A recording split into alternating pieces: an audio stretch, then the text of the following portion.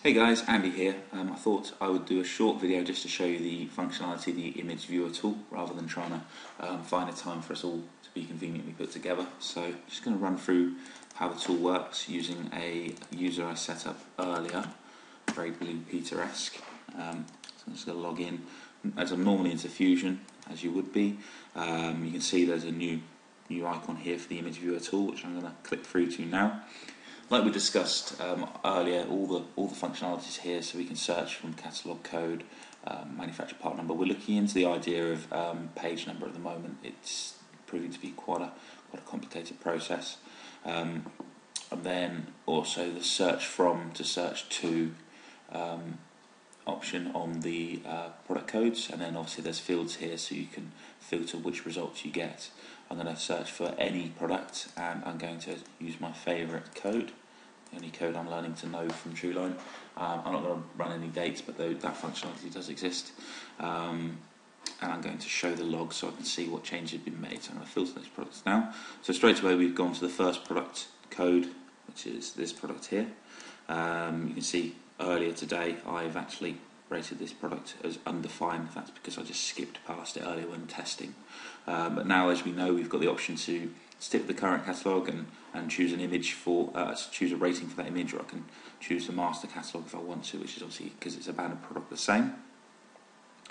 Um, likewise, I can, um, if, if, there was actually a, uh, a product from VOW here, it's forced to, to VOW. You can put the functionality in there for, for the future, but at the moment you can only use the VOW um, image as a comparison. Okay, um, and so I could choose it there.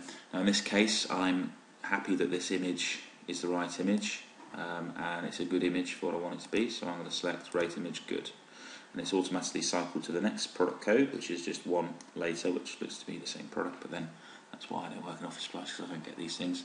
Um, and again, another good image in this situation here, so I'm going to skip by. Um, you can see actually earlier where I've been testing as well that I've also rated this one previously a good image, which is good. Um, so again, I'm going to do the same thing again there. Um, and again with this image. Now, if I wanted to do some more filtering here, let's say I've gone away to lunch or I've passed this job on to somebody else and I, I can still give them the same range of um, product codes, but they I only want to work on the ones that haven't been rated, so I'm just going to filter there.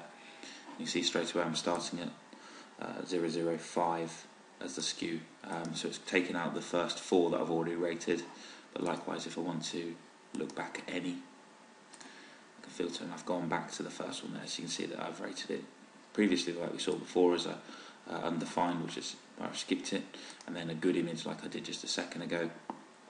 Um, and that's pretty And then obviously I can also just filter for the ones that've got good images and all the filters in there. So the tool's working. I think it's really good. Um, good job, Steve. It's pretty much come from your drawing, so I'm pleased with that.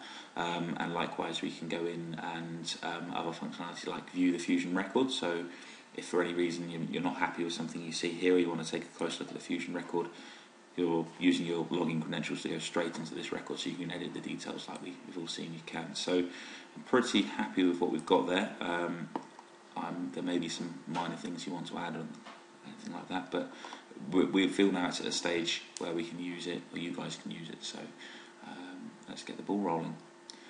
Okay, thanks very much, guys. Cheers.